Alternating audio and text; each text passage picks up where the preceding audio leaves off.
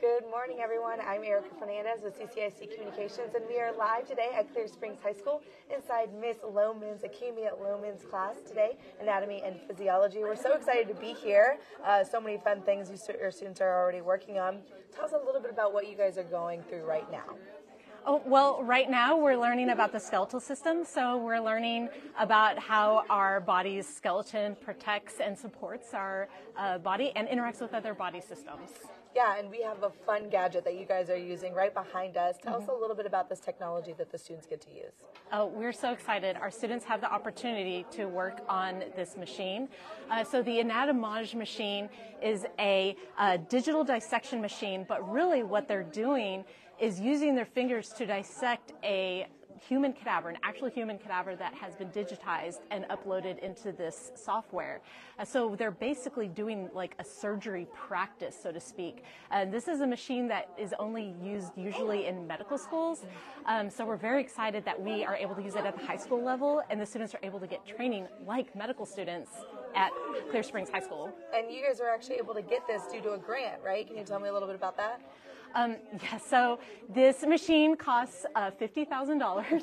I tell the students it costs as much as a swimming pool in my backyard back when we got it. And, uh, but um, I decided I was going to apply for a grant. I didn't think there was any chance I was going to get it. I just applied for it with the Clear Creek Education Foundation. And then all of a sudden, one day, they surprised me with the prize patrol, and um, I got the grant, so we were able to get the table. Um, it's really exciting because we are the only high school, or one of the only high schools in Texas that has a table like this at the high school. It's amazing. And so, how have you seen that this technology is changing the way that the students are able to learn about the body um, in new and exciting ways? Uh, it it is a completely different way of looking at the body. So uh, when we're looking at it in diagrams, it's two dimensional. On here, we're actually able to visualize how the pieces piece together in the body, um, and they're able to interact with it. Uh, for example, they can actually uh, pull out just the nervous system and watch how all the nerves um, are, are, firing in the body with the brain, um, or they can put that down and just pull out the skeletal system, which is what we're doing today, um, and learn all the uh, the parts the skeletal system, the bones, the ligaments, um, how they interact with muscles. Um, it's um, and there's also ways that they can do different procedures like surgeries, uh, which are very interactive, pl- such as placing a stent in the heart um, or doing other sorts of, of catheterization, cardiac catheterization, um, which are very interactive and it's very accurate for what they're doing in the hospitals. Yeah, that's awesome. Well, we'll let you go ahead and get started. I know you guys are doing a lesson, and the kids are also working on uh, something over there on the technology, so we'll let you get started. Okay, awesome. All right, thank you. oh, Oh, this is just. oh, we're gonna see it. Yeah, this one. So if this one is. Where's your bladder? Oh, wait, oh, wait, wait, oh, do you want to see the bladder? Yeah, can you so this is interesting because it shows what happens. Oh, it was on still on the card. Oh. Oh, there we go. So let me flip it around really oh, quick. We accidentally cut the baby in half and saw all the baby's yeah. organs. Isn't that cool? Let me flip this around. Just takes a second to flip it around. There we go. Okay, so if you look and see, so if we turn off the baby, let's see if there's a way to do that. But let me show you. rotate her. That right there Oh, that is the bladder. Oh, oh because like the baby poor thing. the bladder. So normally the bladder in the body is round yeah. and full of liquid, yeah. and oh, when someone the baby is pushing down on the bladder, and that is all the space that mothers have. Um, and also, if you notice, all of her digestive organs have been replaced by uh, the growing baby. And so all of her organs that would have normally been in her abdominal region have now been pushed up into her thoracic region. Um, and that's why we see patients that present with a lot more symptoms of things like um, heartburn, acid reflux, uh-huh. because yeah. it's hmm It's pushed up into the Her esophagus. pelvis looks like it's also expanded. Yeah, it is. So, um, in pregnancy, uh, especially at the end of pregnancy, a mother's body releases a hormone that actually does loosen the connective ligaments to allow the pelvis to expand uh, to increase the birth canal for the baby's head to fit through. Oh. Because that's actually what limits the size of our cranium is being able to fit through the birth canal. Otherwise, our head and our cerebrum would have just continued to grow. But we were limited. Oh. It's probably for the best. Yeah. I, we do have the largest cerebrum of all the mammals, so we do have that going for us, thankfully. So going up in here. She does look a little tired. Uh, I mean, I think it's fitting that she's pregnant and Yeah. this is what she looks like. Um, but another cool thing is we should be able to turn on the heart. And so if we pull this, and I'll show you. Heart rate male. Let's see, this is the, oh, this is the fetal visibility. So what we can do is turn off the skin and just look at the heart. So let me turn off. I don't know why. There we go. bracelets were hanging it too, so. Oh, it's because of my bracelets. So do you, do you know if the baby's a boy or it's a girl? Oh, I could probably. T- because um, Yeah, because the I mean you could look at so let's turn on cardiovascular on the baby. There we go. And there you have its heart beating. Can you see that? And then we can speed up or slow down the heart rate there. Oh, that's so cool. So uh, faster heart rate is tachycardia. And then we can give it some bradycardia and slow it down. And then you'll see that reflected on the ECG.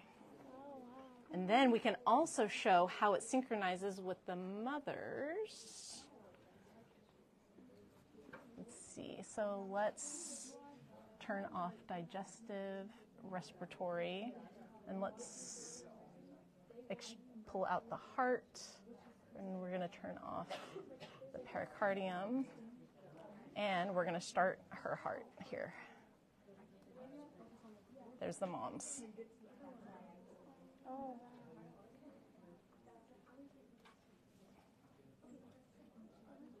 There we go. The Okay, comparison between so the two are now if we compare them,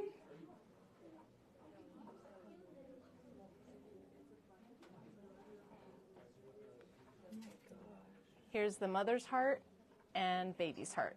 Oh wow.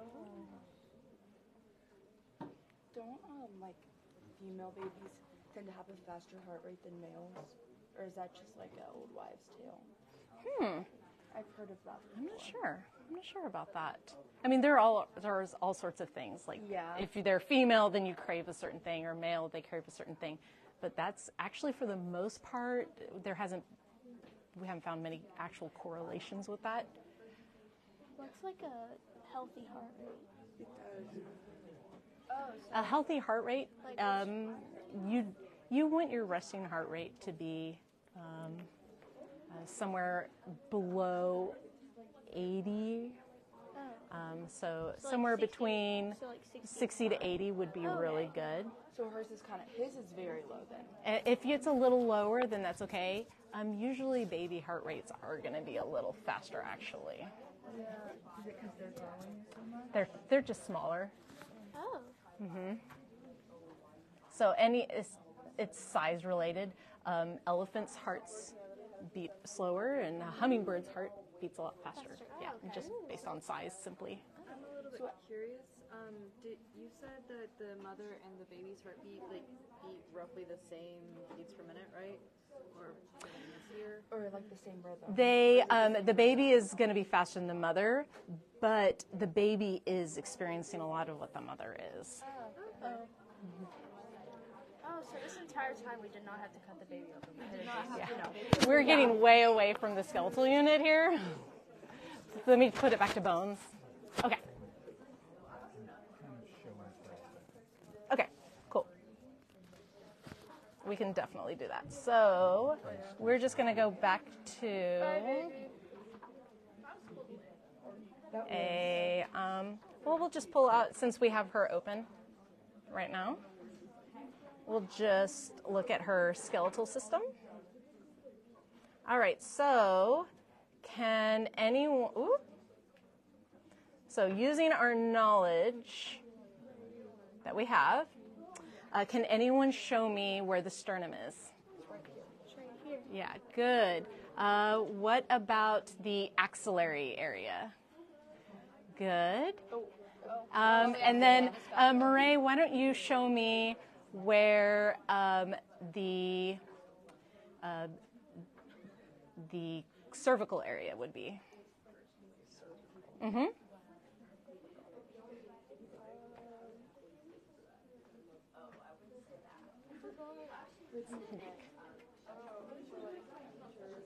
Yeah. Uh huh. That, so that whole area is the cervical area, and the thyroid is located in the cervical area. Um, how about our quadrants, our body quadrants? It's a little hard because we have the baby there. So it's like this way. hmm This. Yeah. So there are thoracic quadrants, um, but we are we focus on the abdominal quadrants to quickly assess a patient and triage um, their whether they need to be seen immediately. Uh, so where which quadrant would the um, the liver be in? The right upper quadrant. Yeah. Yeah, because it's Reverse. yes, Reverse. the reverse. It's always the patient.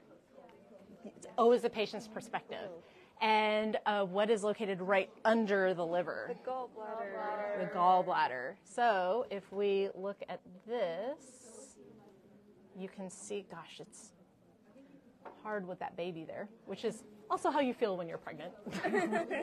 uh, let me see. Oh, I might have I might have turned off digestive. Let me see. Oh, that's why. Uh, wait, That's the baby. There we go. Oh, this is baby. There we go. When the baby is in the um, womb, does it have like the same quadrants, or are they all shifted too? The baby. Oh, the baby has the same structures in the same quadrants as we do, and they're but they're smaller. They're forming, but they're in they're in the place, the general places that they're going to be. So I'm kind of curious. Does the mother's quadrants do they shift up a little bit whenever she's pregnant, like especially like heavily pregnant? Later Yes, On? which so that needs to be taken into account in a patient that's pregnant. Uh, so, oh, okay. Oh, are you done?